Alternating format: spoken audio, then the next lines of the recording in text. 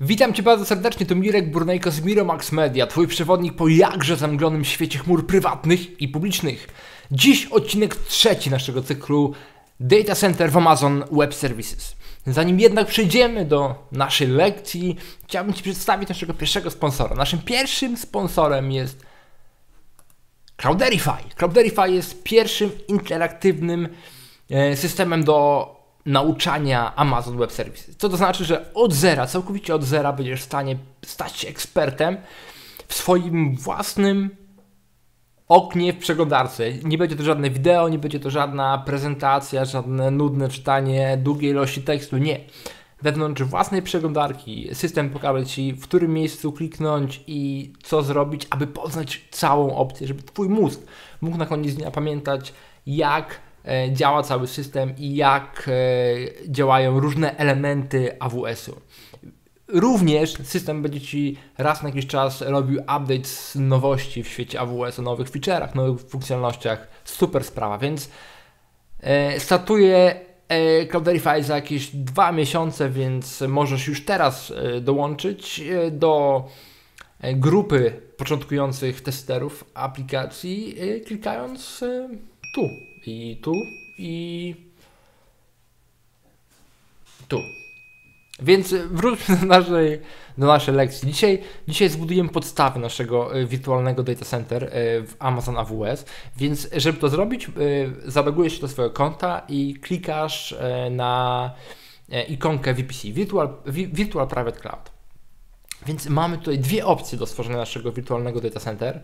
Pierwsza opcja to jest użycie Wizarda, więc możesz zrobić za pomocą Wizarda i stworzyć gotową architekturę. Jak na przykład tutaj, gdzie mamy pewną sieć publiczną z naszymi e, zasobami, z połączeniem do internetu. Możemy na przykład stworzyć coś całkowicie innego, na przykład e, sieć, e, znaczy data center, które jest podłączone zarówno do internetu, zarówno też przez kanał uszyfrowany, przez VPN, do e, naszej korporacji. Więc e, wystarczy parę klików i mamy już stworzoną e, Virtual Private Cloud. My natomiast skorzystamy z opcji ręcznej i przez te wszystkie lekcje przejdziemy przez każdy element, żeby poznać dokładnie, dokładnie VPC i żeby zrozumieć istotę działania data center w AWS-ie. Jest to o tyle istotne, że potem rozbudowa tego, albo migrowanie, albo dodanie kolejnego VPN będzie banalną rzeczą. Więc e, stwórzmy to za pomocą e, ręcznej konfiguracji. Więc żeby to zrobić, e, żeby to zrobić, żeby to stworzyć te pierwsze, pierwsze podwaliny, czyli to naszą sieć 10.1.0.0.16, w której będą później budowane sieci, routing, wirtualne maszyny, polityki bezpieczeństwa, najpierw stworzymy te nasze data center. Więc żeby to zrobić, klikamy na Your VPCs. Ja mam stworzone już kilka VPC. Każde te VPC jest oddzielne. E, możemy je łączyć ze sobą w pewien sposób, ale z natury jest każde oddzielne, więc nie ma problemu, że te adresacje wewnątrz Twoich VPC albo innych VPC się powtarzają. To, co jest wewnątrz Twojego VPC jest unikalne. Adresacja, sieci, maszyny, etc. Dopiero e, powiązanie ich ze sobą może się odbyć za pomocą jakichś zewnętrznych mechanizmów, o których może porozmawiamy w przyszłości. Więc wracając do naszego tematu, tworzymy pierwsze VPC. Więc żeby to stworzyć, musimy najpierw nazwać e, naszą, e, nasze VPC. Ja stosuję pewien standard, który możesz też stosować albo użyć dowolnego VPC. Robię to, żeby potem było wiadomo, które elementy służą za co, no i 001. Teraz tak, pula adresowa pula adresowa, czyli e, jakie sieci będziemy używać e, w naszym e, całym data center.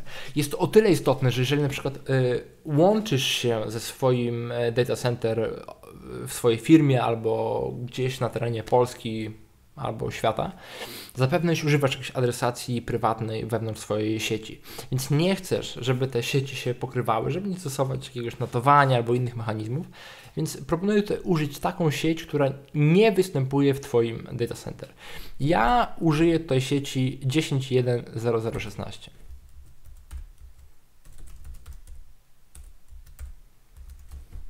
Jak widzimy, e, możemy używać e, maski sieciowej od 16 do 28 bitów.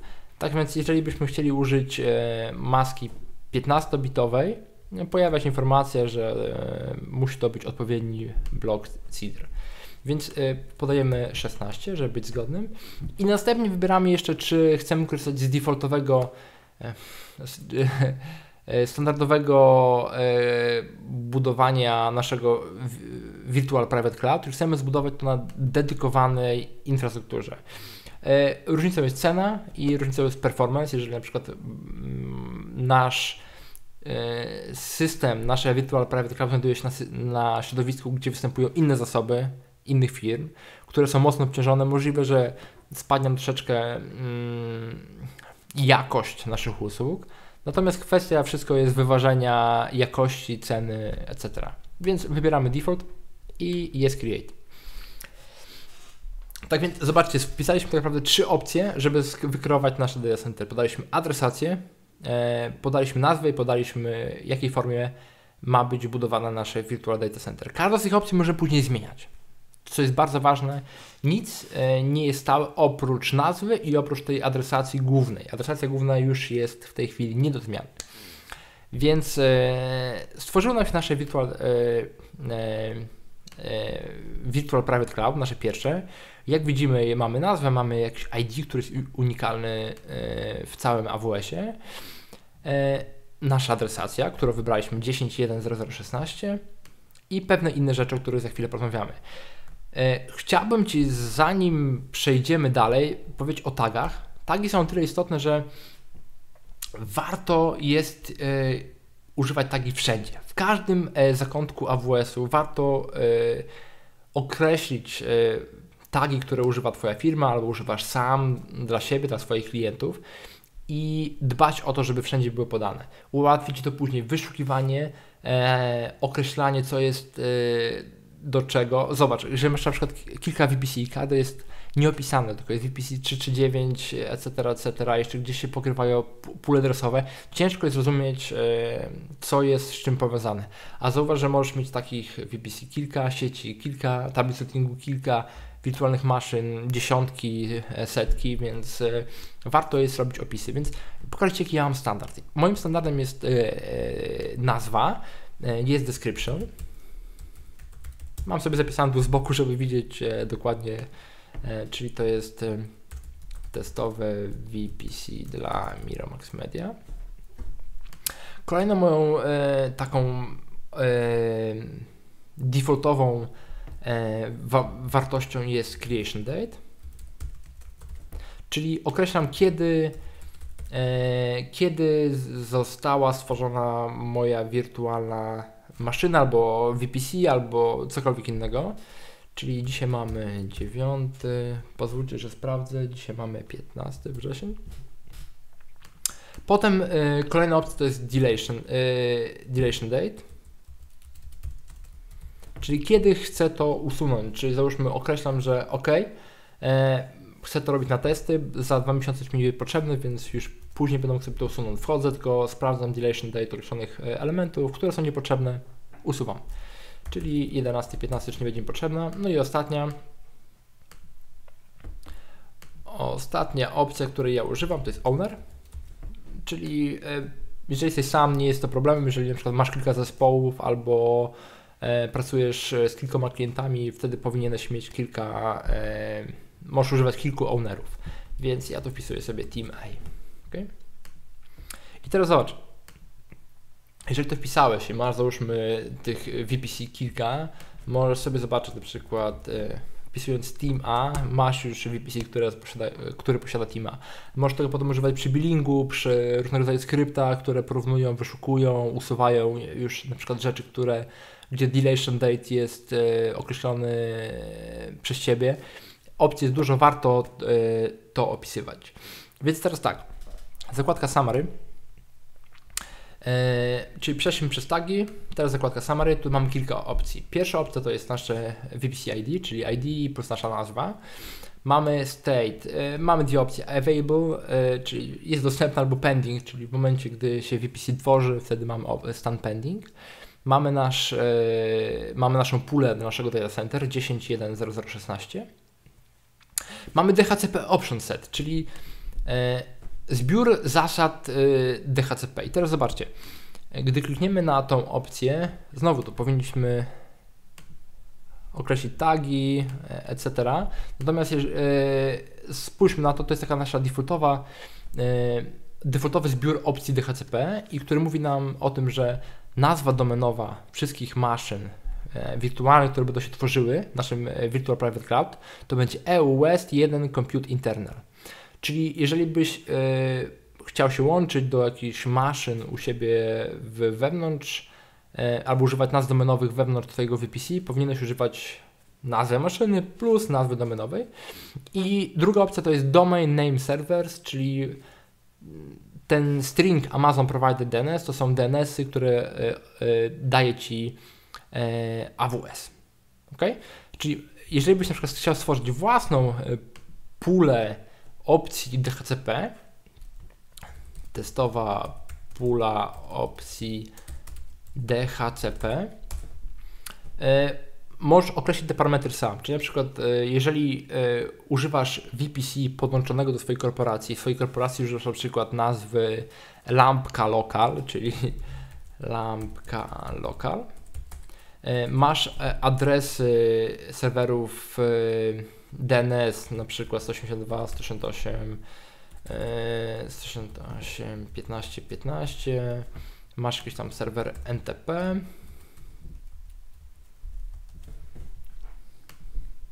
Więc e, tworząc taką pulę, możemy potem ją podłączyć pod nasze VPC i używać w ogóle innych ustawień. Wtedy tworząca się maszyna w Twoim VPC pobierze pewne zasoby e, z, Twojego serwera DNS, e, nazwę domenową, którą Ty właśnie teraz e, wpisałeś.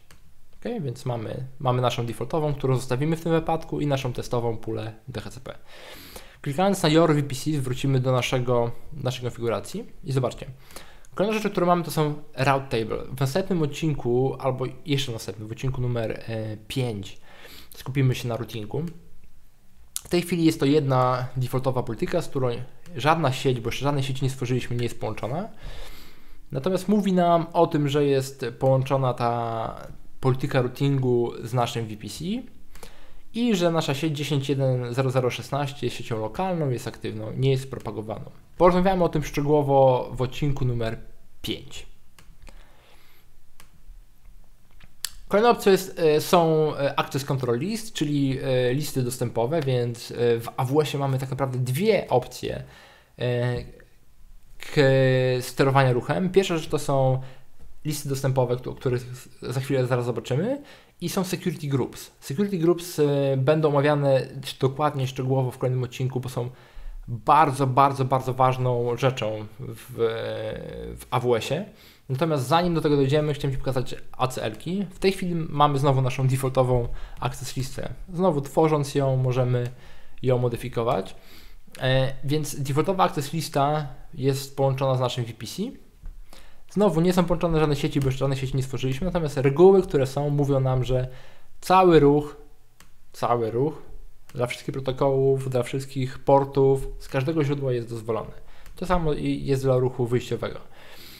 Żadne sieci jeszcze nie są e, z tym połączone. W następnych odcinkach przyjrzymy się dokładnie, jak to wszystko skonfigurować i e, połączyć z naszymi sieciami.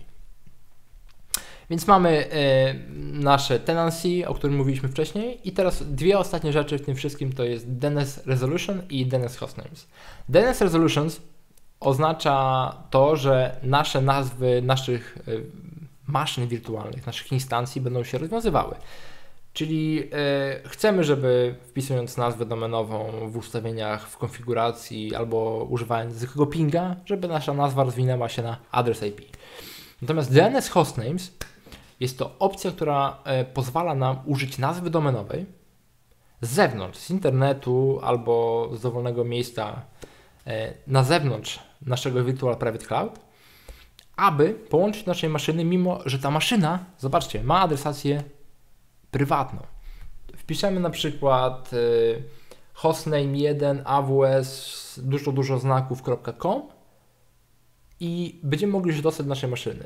Oczywiście wszystko zależy od reguł, Natomiast y, używane to jest po to, żeby mimo adresacji prywatnej móc się dostać z internetu do, naszego, e, do naszej e, maszyny. E, wszystko zależy od konfiguracji oczywiście. W naszym wypadku, gdy mamy tą konfigurację, którą myślimy. Na razie wyłączymy to. Nie chcemy, żeby nasze, e, żeby podając nazwy z internetu mógł się połączyć naszych, połączyć naszych maszyn. Użyjemy trochę innych mechanizmów, o których porozmawiamy troszeczkę później. Więc e, każdy z, każdy z tych elementów, e, prawie każdy, oprócz oczywiście nazwy i głównej adresacji, możemy zmieniać. Czyli możemy nasze DHCP option zmieniać na te na przykład, które przed chwilą stworzyliśmy.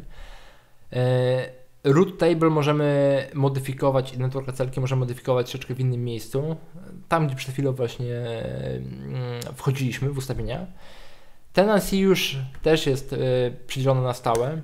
Oczywiście możemy tym modyfikować jeszcze z poziomu naszych wirtualnych maszyn, ale by default jest ustawiona opcja default, nie dedicated w naszym przypadku. No i oczywiście możemy zmieniać opcję DNS resolution i DNS hostname. Więc e, to było na tyle. W następnym odcinku stworzymy pierwsze sieci. Stworzymy nasze pierwsze sieci, połączymy je e, z naszym VPC. E, stworzymy sieć 10.1.0.0 24 do sieci zewnętrznej, stworzymy sieć 10.1.2.0.24 do sieci wewnętrznej i sieć managementową dla zarządzania naszym środowiskiem. Więc stay tuned i Dziękuję Ci bardzo za oglądanie. E, jeszcze raz słowo o naszym sponsorze Cloudify. E, I to by było na tyle. Dziękuję Ci bardzo. Do zobaczenia za tydzień. Mam nadzieję, za tydzień. Właśnie wróciłem z urlopu, więc jestem pełen energii. Mam nadzieję, że będziemy mogli zrobić coś fajnego w najbliższych tygodniach i miesiącach. Do zobaczenia.